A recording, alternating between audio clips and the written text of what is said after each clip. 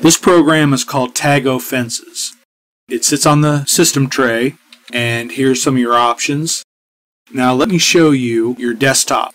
Okay, here's here's your normal icons. All all the icons you have usually are just on uh, for Windows 7 and below. It's it's on your desktop just like this. Of course, I don't have as many. I've put it in my desktop folder. But uh, let's say yours are here. What you do is when you hold down your left click, drag a fence to about the size you want it, and then down below here it says add fence. So you hit add fence. Then now you can start putting your icons in there. So what this does is it basically make a shortcut of a short. These are already shortcuts on your desktop on the long side here, and you just drag it over and it makes a shortcut of the shortcut. So if this icon on the side here was deleted or moved into the folder, something like that, then these icons would be invalid and it wouldn't work. Another feature I like is there's two hotkeys.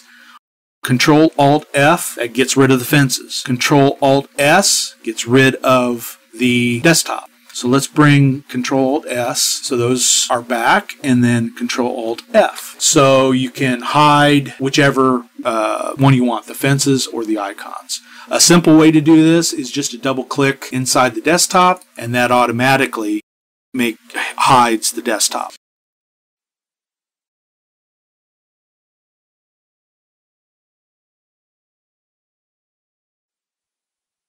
Another neat thing, and I'll get into the settings here, there's a little thumbtack that has a purpose. Let me show you this. Change the thumbtack that way, and your fence will fade away. Let me do it with that one too. So if you're off it for a little bit, it will hide. You go over it with your mouse, it comes back.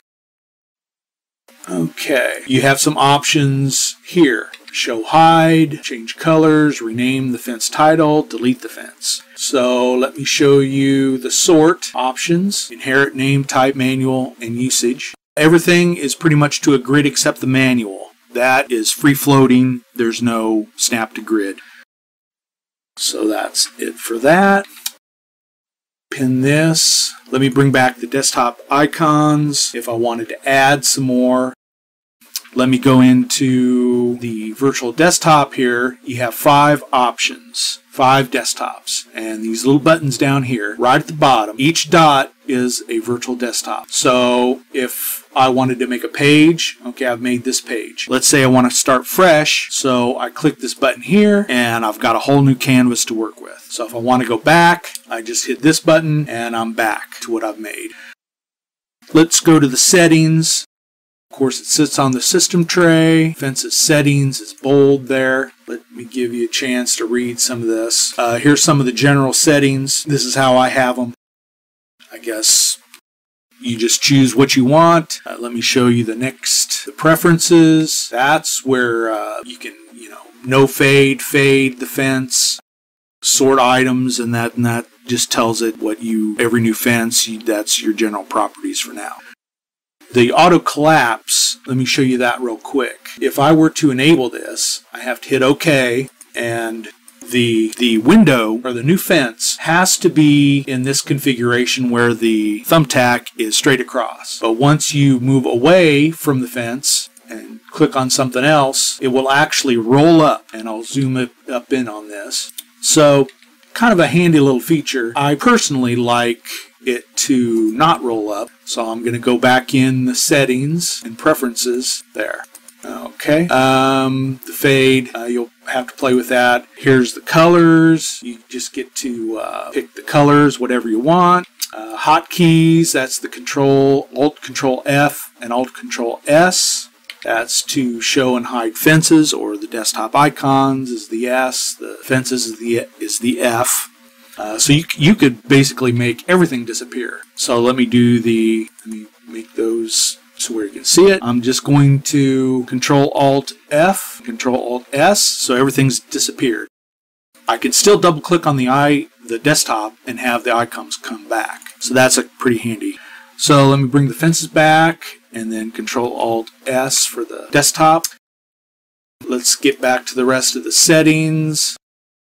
Oh yeah, you can in the system tray here, you can hide fences as well. Okay. Um, let's get to the rest of the, I think we did the colors, the hotkey, and then the last thing is about. And there is a feedback on the system tray. So you can give them feedback if you so desire. So that's it for now. They update this program every once in a while, every couple days it seems, every five days or so.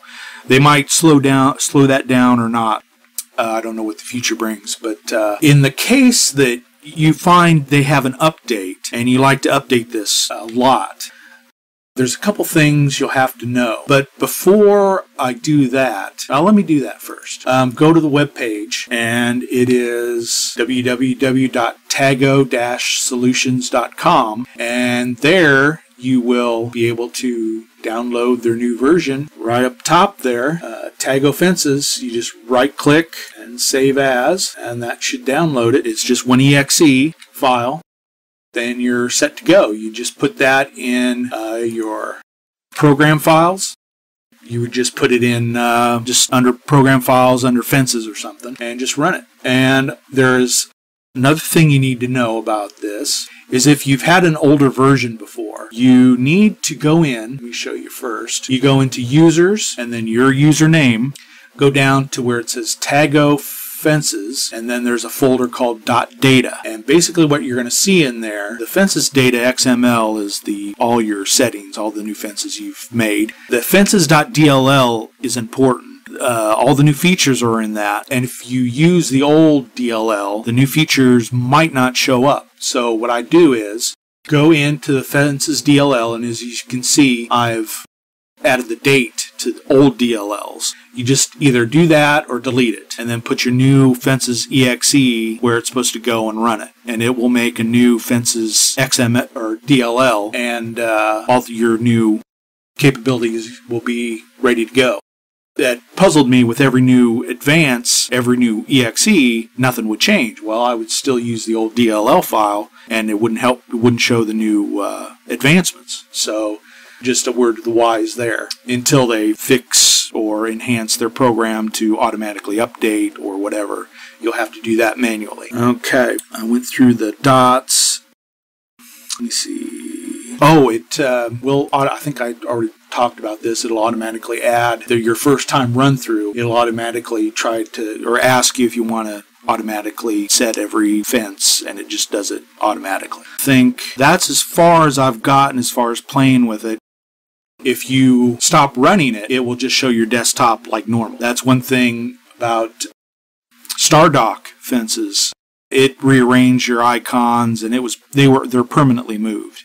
This one does not do that. So I, for most of the part, I like Tago fences, but for programming and such, I use StarDock fences to show all my icons all at once. And uh, I just have a full screen, but uh, on my entertainment PCs, uh, I use Tago fences. I, I really prefer this program. I think that's pretty much everything. I can't think of anything else.